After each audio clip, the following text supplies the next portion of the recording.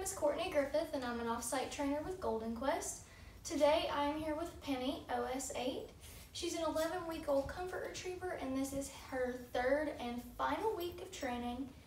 And in today's video we're going to be going over each of the commands she knows as well as any hand signs that go along with those commands.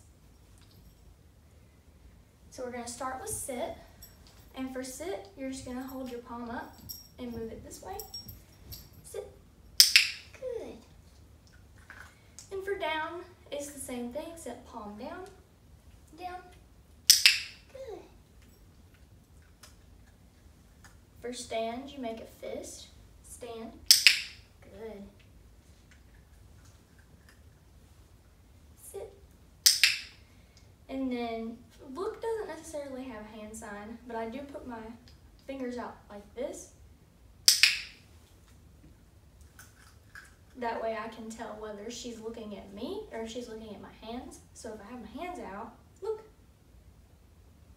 and she's still making eye contact with me, I know that she knows that she's supposed to look at me.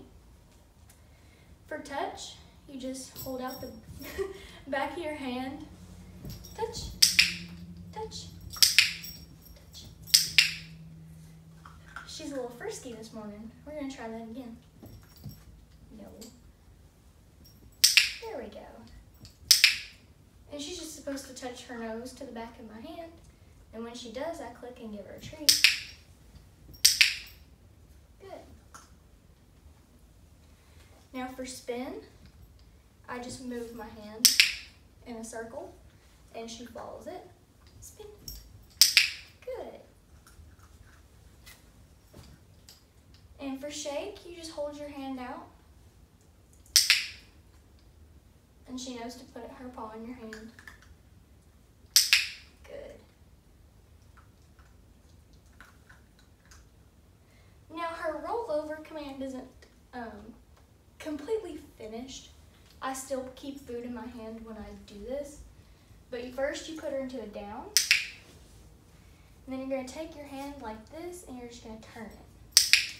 And she follows your hand. Down. Just like that. And I'll show you more in detail during our exit lesson because I know that's probably a little bit difficult to see really well from the camera. But she does a great job. Um, and the biggest secret with the hand motion for rollover is just in the wrist. And I'll help you with that when I see you Friday. Now for recall, it's just really simple. You just back away from her and call her, Penny, come. And I do expect her to sit when she gets to me. And if for some reason she's being a little reluctant, you might have to get really peppy and excited. Come. Sometimes she gets a little excited. Penny, come. Ah, that was a good one. And for go to bed, you simply just walk to the platform bed. You really don't even have to wave your arm over it, but typically I wave my arm over it and tell her to go to bed. Um, for the most part, if I just walk towards bed, she assumes that's what I'm about to ask for.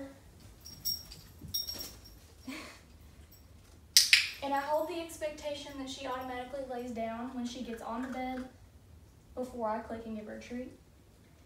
And for stay, you just hold your hand up like a stop sign. Thank you. Stay.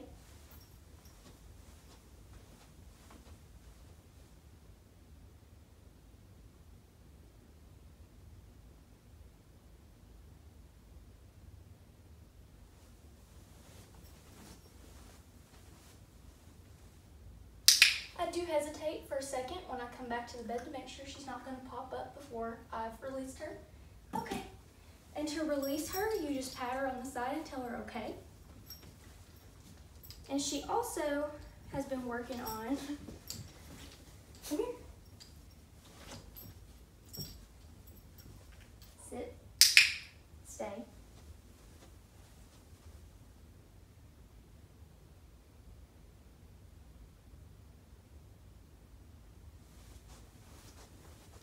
Her sit stay and her down stay on the floor as well.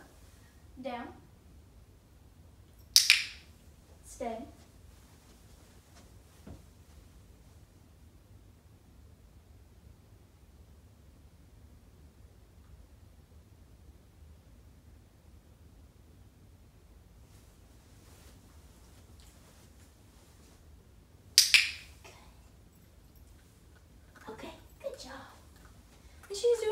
With that. Where she is still really young, I'm not asking her to hold that stay for very long, but as she gets older, you can gradually increase how long you expect her to hold that. And for purposes of the video, I'm not going to hold the stay too long. Um, now, this is one I haven't shown yet. She's very happy this morning. I've been working on teaching her leave it. And this is a bowl of food. Calm down. Leave it. Uh-uh. And if she makes a mistake and goes for it, now this is new, we've only been working on it for a couple days. If she makes a mistake and goes for it, just tell her uh-uh, and that'll kind of remind her that she's not supposed to actually go for it. Leave it. Good girl, there we go. She had to think about it for a second, but ultimately she made the correct decision. Leave it. Good girl. Even though this is still relatively new, she's doing great with it. Um, we haven't worked a whole lot on expanding it to other things. I've mostly just been teaching her the concept of the word. But it should be relatively easy to generalize to other items as well. Now we've moved outside to do her finish and her heel. Now for finish, you just want to take a step back and then move her forward. Good. Heel.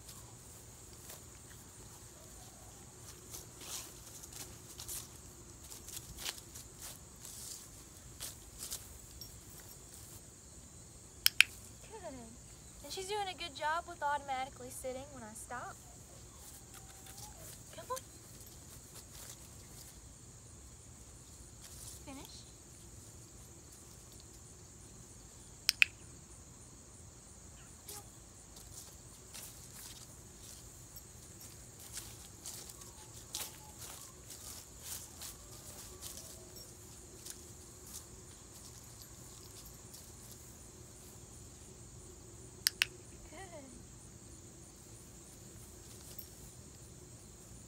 Good. Good job, Penny. As you can see, she's doing great with finish and heel. And we'll go into more details about all of her commands during our exit lesson. Overall, I'm extremely happy with how well she's done. She has been one of my favorite puppies to work with. She's absolutely adorable and so fun and truly gives her her best effort in every session. I'm really going to miss her and I'll see